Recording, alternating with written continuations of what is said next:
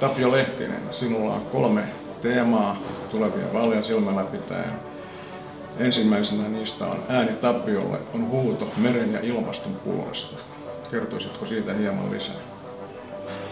Mä oon ylipäätään päätynyt ehdolle näissä vaaleissa sen vuoksi, että mä oon tässä viimeiset vuodet aina kun ollut äh, tilaisuus päästä ääneen, niin, niin puhunut merten ja ilmaston tilan puolesta. Et silloin purjehdin ensimmäisen kerran yksin maapallo ympäri viisi vuotta sitten. Ja, ja tuota, 42 vuotta sen jälkeen, kun olen ekan kerran purjehtinut nuorena miehenä maailman ympäri, niin silloin vuoden 18 yksinpurjehduksen aikana niin en voinut olla, olla tuota kiinnittämättä huomiota siihen, että miten miten hurja tämä luontokato maailman merillä on. Että siellä lintujen ja valaiden ja merinisäkkäiden määrä on romahtanut verrattuna siihen, mitä mä muistan nähneeni 80-luvulla.